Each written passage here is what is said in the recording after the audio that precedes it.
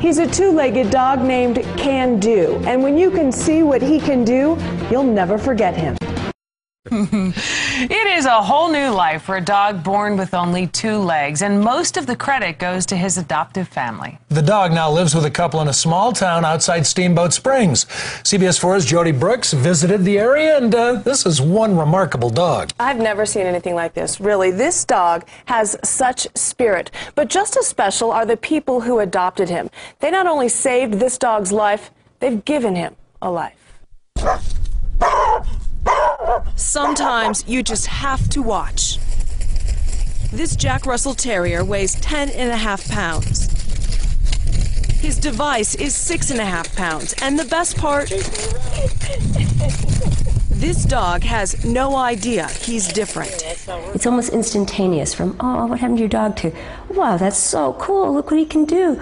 And it's such a neat thing to see. This dog is named Can Do because he really can do anything. He was born without his two front legs. It's very rare. I feel an obligation to, to, give him everything I can give him. About two years ago, Can Do was taken to the Evergreen Animal Protective League to be euthanized. His owner at the time did not think Can Do was capable of living a good quality of life. CBS 4 first featured Can Do then. And after more than 100 adoption applications and interviews, Ken and Melissa Rogers of Oak Creek were selected as Can Do's adoptive parents. He'd spent his whole life on his chest. He never had anything. That's until he came home with the Rogers. Good boy. Yeah. Ken took plastic, molded it to fit Can Do's body, and added rollerblade wheels. In the winter, here's his monoski. This is a great little device, weighs less than two pounds, wax up the bottom of it, flies down the hills, has a great time with the monoski. Can Do plays in the snow like any other dog. Okay, bud.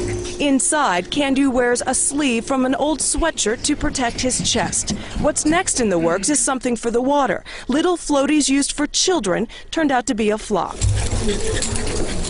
The best is what these devices do for Can Do. They give him freedom, and he gives others inspiration. Can Do is part of the Healing Friends program and visits hospital patients. He's just joy. He's just that is just all he is. He's just pure joy. A dog someone once thought had no hope on, proves anything is possible.